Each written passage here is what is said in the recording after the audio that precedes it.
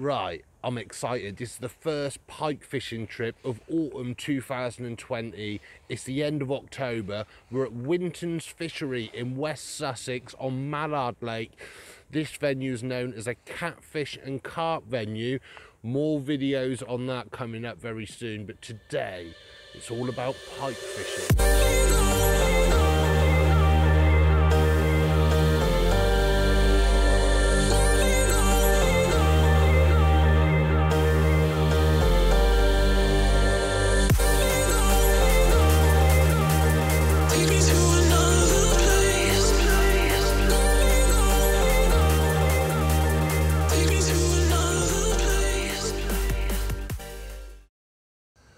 Right, we are at Winton's Fishery today in West Sussex. Now, this is a carp and catfish venue.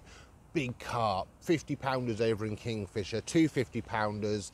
Um, Mallard Lake behind me here is full of catfish, lots of 70s, 80 pounders. Um, there's also some nice carp in this Mallard Lake. Um, there was a 40 come out last week actually. Uh, there's about 200 carp in here actually, some really nice 30s, 40s. And basically, I'm here carp fishing for three days. I've got a whole winter campaign going on. Uh, there'll be more videos on that. But to break it up, we're having a go at a bit of pike fishing for a couple of hours each day just to see how we get on. Now, when I was doing a winter campaign over on Kingfisher Lake, which is the big carp lake, um, I noticed I got bit off a couple of times by pike taking my boilies. So I had a bit of a go for pike. Um, you're not, you can't just come and fish for pike here. You have to speak to Stuart, the bailiff, and basically you have to use fluorocarbon and single barbless hooks, which I would never ever do for pike fishing. Never done it. Never really trusted fluoro, to be honest with you. But um, I had a go with it and it worked really, really well. So little sort of size two hooks, which is quite small for pike fishing, just a single hook, little bits of bluey or mackerel, and I just caught so many pike from there. Of course, they've never really been fished for much, the pike. Um, but then I took that tactic and went to several other lakes and I, I started catching a lot more pike. Um, so today, I couldn't get on Kingfisher this weekend, so we're at Mallard Lake it is sort of the end of October, so we're the cats are starting to go to sleep. Even though last night Barry next to me did have a 53 pounder out. Yeah, they're lovely creatures, but the carp are my game.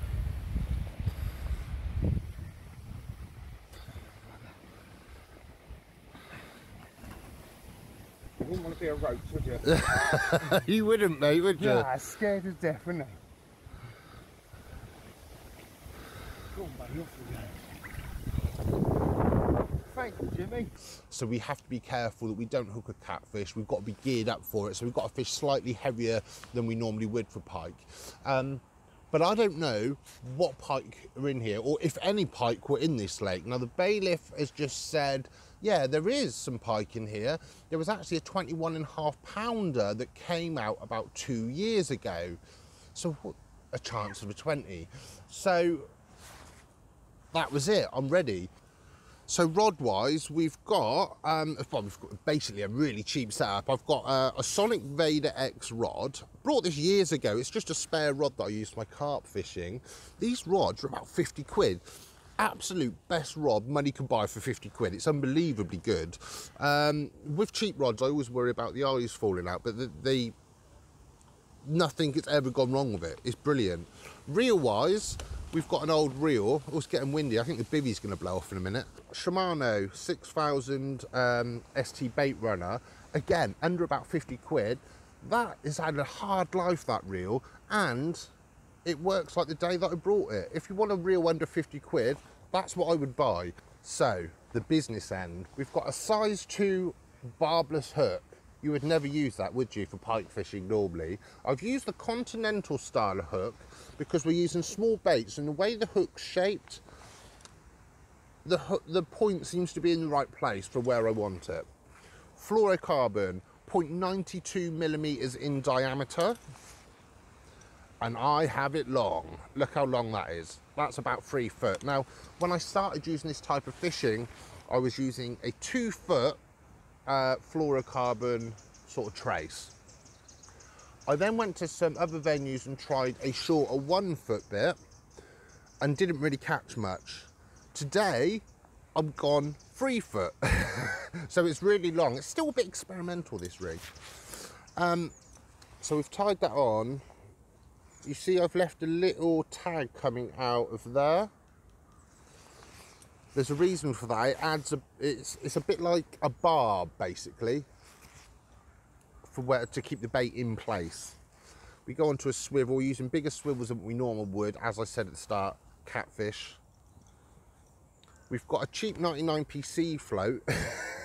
I don't really ever know why people buy floats for five pound for pike fishing. You can get these little sea fishing starter kits, right? Um, and I just use one of them. And then we obviously have a stop and a bead there. So it's really, really simple. Bait wise, we're going to use tiny little bits of mackerel and we're going to bait elastic it into place. The bits of bait are no bigger than my thumb. Tiny baits for pike fishing, really, because you know, we all know a small jack pike will take a massive joey mackerel. They take their take baits up to half of their size of pike, so you don't need small baits. But for some reason, I'm catching a huge amount more pike using these tiny little bits of dead bait. A lot of smaller ones. I've not had anything over 12, 13 pound. Um, but my theory is you see massive pike caught on little tiny lures. So I reckon if there is a big pike around, it would take a little bait. I'm, I'm almost convinced of it. The last thing we are doing is on the bait, we put a little bit of this liquid halibut pellet um, stuff and it seems to attract the pike in a little bit. It's the Dynamite Baits one. I've only used about a quarter of a bottle. I've had it about a year.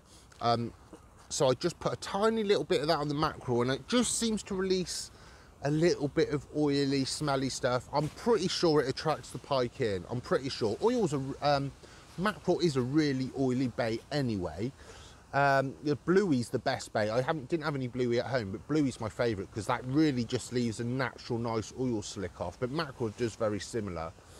Saying that, you catch uh, a lot of pike on roach, which aren't oily at all. So you know, it, it's it's just what I do. I like mackerel and bluey. It's time to cast out. I tell you what, it's dark. It's going to rain in a minute, but it's dark. It's gloomy. If you were to pick a day for pike fishing, today would probably be the day.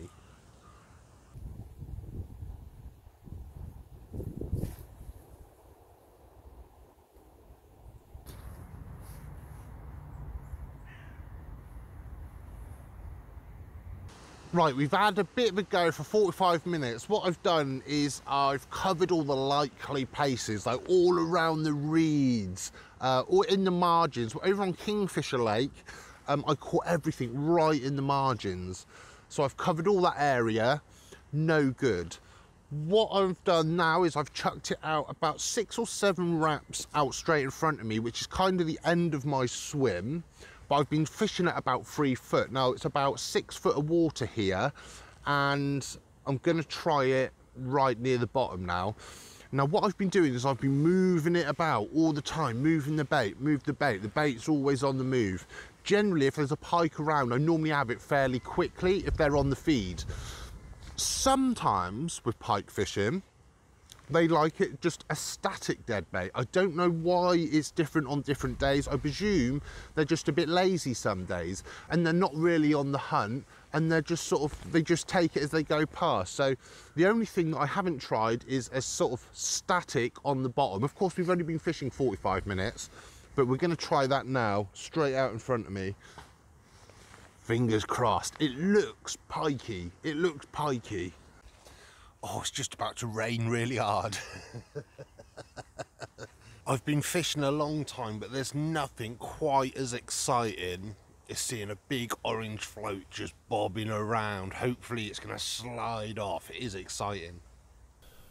Right, we've had we had a take and it's given me the right old run around here. Good lord.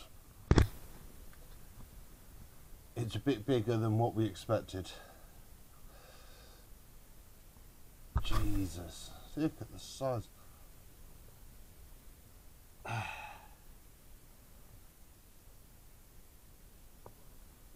reckon it's a 20 pounder. It's an absolute monster. Oh, it's all tangled around the carp line. Good Lord, look at it. Ah.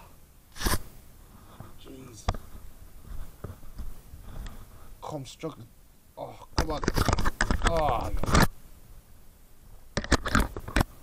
Struggling to get it in a 50 inch landing. Got it. Oh. Yes. Wow, boys and girls, that he's got to be a 20 pounder. That's a 50 inch landing net. That could be 25 pound. Good lord. Good lord, look at it. God. It's an absolute monster. Good lord. I mean that, look at it, it's lively still. God. That is an extra large carp unhooking cradle. Look. Look at the size of it. God, come on, girl. Come on. We'll get you back soon. Twenty-two pound. That is an absolute beautiful pike. I think I've just caught the biggest pike in the lake within an hour. First pike fishing trip of 2020. That is monstrous. Look at that. Oh, pike look big and tough, but they're very fragile fish, so we're going to put it straight back. Yes. It stopped raining a little bit, um, and I'm just going to show you the rig that we just caught that pike with. What a beautiful pike! I cannot believe that we've caught that within an hour of me fishing on the lake for the first time. Pretty sure that was the biggest fish in the lake. I think that's the one that was caught a few years ago at 21 pound. You never know, there might be more in here. They're not fished for the pike in here, so it's a job to know. Um, oh, did you see it? It was so lean. I've caught um, big pike before, but they get really fat. If that had a big belly on it, that'd have been almost 30 pound, I expect. This is the rig that done it. I got a little bit excited and stood on the float. um, but what I want to try and show you is the fluorocarbon to see if it survived. Now, that's that, that hook is as sharp as when I put it in. That could go out again. Fluorocarbon, couple of little marks up to there. Can you see that? Tiny little marks. You could throw that out again. I can pull that it's never going to break. It's just tiny little marks. I wouldn't use it again. But fluorocarbon's all right. To be fair, it wasn't because we're using small hooks, small baits. We're hitting it straight away. It's always going to be hooked pretty much in the scissors. So, you know, you're not going to be rubbing too far down here, but um, it works. We might have another go tomorrow. See if we can catch another one. I don't think it's going to be as big, but we could have another one. Right, I'm hiding in my bivvy. Um, I've had another little go for the pike, another half an hour. Uh, that was it. It's been horrific weather this weekend. Um, and I have been hiding away, but I've done an hour and a half's pike fishing over the weekend. We've caught a 22 pound pike, probably the biggest pike I'm going to catch for this whole pike campaign. Uh, and we caught it within an hour, so brilliant. This weekend, um, I haven't caught any carp. I may have caught a massive catfish. There will be a video coming out on that very soon. So do come and subscribe on YouTube and I'll be back.